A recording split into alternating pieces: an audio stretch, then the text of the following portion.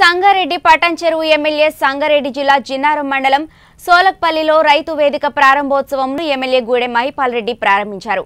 ఈ సందర్భంగా ఆయన మాట్లాడుతూ పటాన్చెరువు నియోజకవర్గంలో ఎనిమిది రైతు వేదికలకు ఎనిమిది రైతు వేదికలు ప్రారంభోత్సవం అయ్యాయని అన్నారు.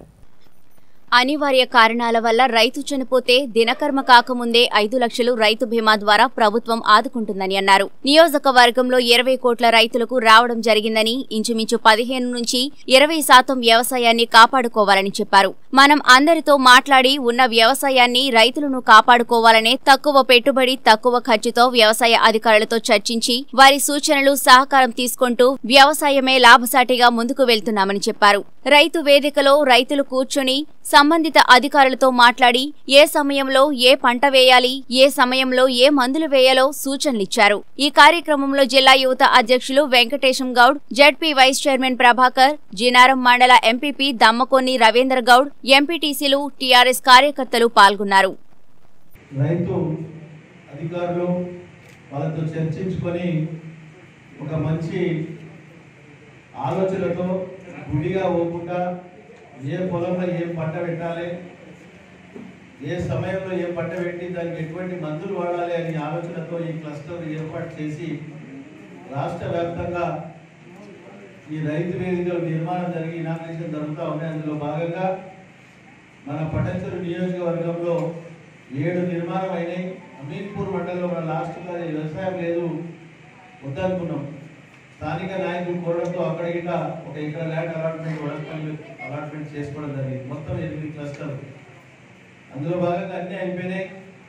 ఈరోజు సోలర్పల్లి చిన్నారంలో ఈ వేదికలు ఇనాగ్రేషన్ చేసుకోవడం జరుగుతుంది. ఈ సభకు స్థానిక సర్పంచ్ శ్రీకాంత్ రెడ్డి గారు స్థానిక సర్పంచ్ గారు మన ప్రభాకర్ అన్న వైస్ చైర్మన్ సంగారెడ్డి జిల్లా పరిషత్ గారు ఎంపీపీ గారు ఎంఆర్ఓ గారు స్థానిక ఎంపీటీసీ గారు మన వెంకటేష్ గౌడ్ గారు మన అంజనేయులు సర్పంచ్ మన Vijay market committee chairman Prakashanna అన్న గారు గోపాల్ రెడ్డి గారు వేదికపై ఆశలైన స్థానిక ఎంపీటీసీలు సర్పంచులు ఈ తొలపల్లి చిన్నార మండలానికి సంబంధించిన ప్రముఖులు ముఖ్యులు పత్రికా సోదరులు అగ్రికల్చర్ అధికారులు బీఆర్ అధికారులు అందరికీ పేరు ధన్యవాదాలు.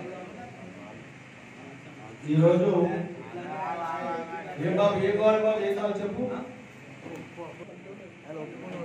ఇంత చక్కటి భవనం అందరి సహాయ సహకారాలు దాతల సహకారం తీసుకొని ఇంత చక్కటి ఈ వేదికను నిర్మించినందుకు మీ అందరికీ సహకరించిన వారికి అందరికీ నేను పేరు పేరున ధన్యవాదాలు తెలియజేస్తా ఉన్నాను ఎందుకంటే అందరి సహకారం తీసుకొని ముందు పోతేనే ఇక్కడ ప్రజల సహకారం అక్కడ అధికారులు ప్రజాప్రతినిధుల సహకారం తీసుకొని ఏ పనైనా సక్సెస్ చేయడానికి ఆస్కారం ఉంటుంది కాబట్టి అందరి సహకారం తీసుకొని ఇంత చక్కటి భవనము నిర్మించి నిర్మించడం జరిగింది.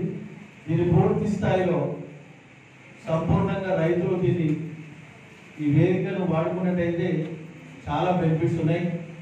ఇంతకుముందు ప్రవకారాలు చెప్పినట్టు అందరికీ సంఘాలు ఉన్నాయి. రోజువారీ అడుగు అడుగుని తినే పుచ్చకాలకి కూడా సంఘం ఉందని చెప్పి మన అధికారి కానీ రైతులకు లేదు.